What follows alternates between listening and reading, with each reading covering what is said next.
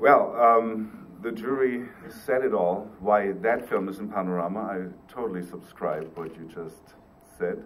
Äh, wir sind Deutsch, ne? Oder wird übersetzt? Beides.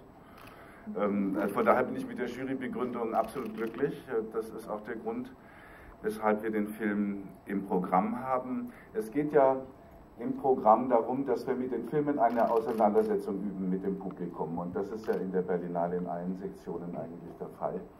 Und dabei äh, kommen immer wieder neue Inspirationen zutage, die das Programm im nächsten Jahr inspirieren.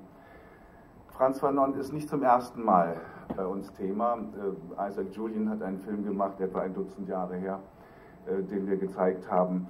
Dennoch hat man festgestellt, er war mal wahnsinnig wichtig, auch in der, im Diskurs in Deutschland und ist dann wieder verschwunden und hoffentlich äh, trägt dieser Film dazu bei oder er wird dazu beitragen, dank des Konzeptes, dass man durch 20 Städte in Deutschland fährt, die Bundeszentrale für äh, politische Bildung ähm, Konzepte entwickelt, wie man auch die jungen Leute daran äh, führen kann an Themen, die äh, nach wie vor einfach offene Wunden sind und zum Teil in Sackgassen ohne Dynamik vor sich hin tja, brüten, möchte ich sagen. Denn diese Wunden müssen immer wieder gelüftet werden damit sich etwas verändern kann. Diese Wunden in diesem Falle sind die Kolonialgrenzen äh, Afrikas. Äh, dieser Kontinent arbeitet sich immer noch an dem ab, was wir Europäer dort hinterlassen haben. Und das ist ein Trauerspiel, dem wir in unserem Menschenleben wahrscheinlich nicht mehr als Ende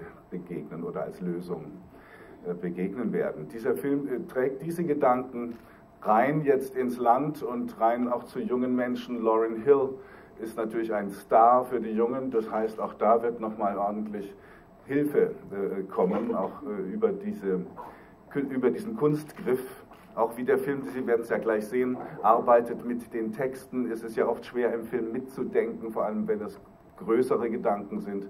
Ähm, er wird als Text dann nochmal auf der, auf, auf der Leinwand äh, zu sehen sein, sodass man einfach auch ein bisschen Zeit bekommt als Zuschauer äh, zu reflektieren.